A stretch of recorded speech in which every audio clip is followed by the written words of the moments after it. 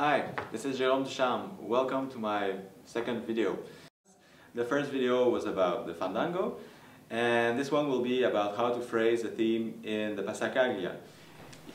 When I was studying under Oscar Ghiglia in Switzerland, he was often telling us about modes. What he calls mode is a fragment of four notes that he would organize with a stable situation at both ends for extreme notes and some tension in between. And I think that applies perfectly to the theme of the Passacaglia. First of all, let me play for you the theme of the Passacaglia.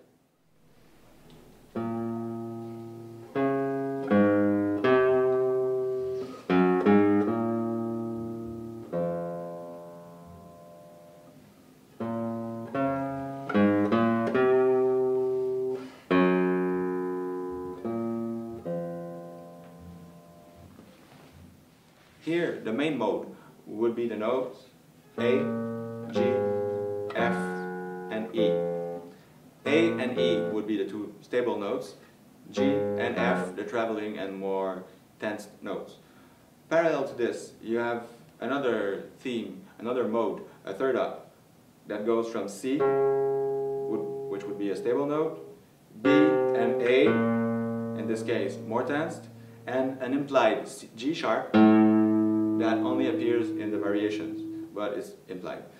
Um, so when you put all these notes together, you start with a stable point for both of these notes.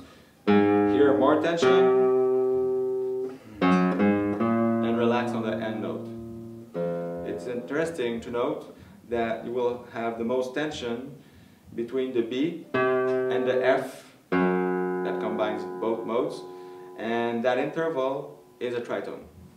Once you get that down, you will need to apply the same phrasing uh, in each variations of the Passacaglia because it's in the nature of the Passacaglia to present the same theme over and over again along with different variations.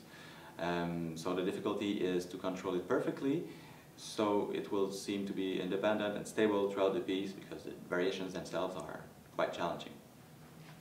Thank you for watching. Uh, you can click on the links below for my other videos and if you have comments or suggestions for future videos you can send me a message on Facebook. Thank you.